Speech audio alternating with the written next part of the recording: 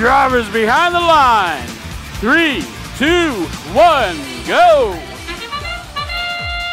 And Team Rembrandts and their alliance partners, Falcon Robotics, both launching the power cells into their power port. Riviera Robotics and the Metal Crafters doing the same. But the Blue Alliance comes out just on top, 22 to 19. The Scorps dropping power power cells into the lower power port for the Blue Alliance. And here comes 5869. The QHHS Robotics trying to play some defense. That gives their alliance partner Riviera Robotics and the Metal Crafters some time and breathing room to try and make up the deficit. And they have. It's now 37 to 33, the Red Alliance. Team Rembrandt and their line partner Falcon Robotics ranked 6th and 10th, respectively, in these qualification matches.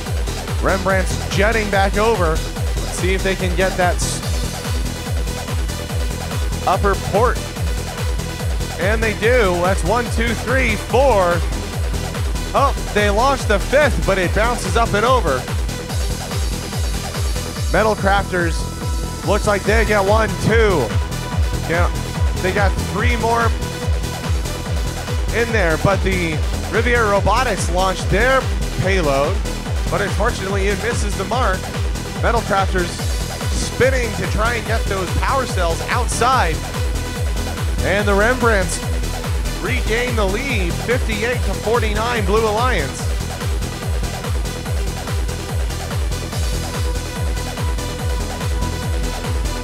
There's Riviera Robotics launching five power cells to take the lead back. 59 to 58 Red Alliance. 30 seconds left in the match. We have all three Blue Alliance robots. They look like they are poised and ready to climb on the generator switch. Can all three do it? Let's see. There's the Scorps. There's the Rembrandts. And there's Falcon Robotics. All three are hanging. That's a 90 point end game. And time expires. The preliminary scores. And it's the Blue Alliance protecting First City. Generating 90 points in the end game to win 148 to 76. And three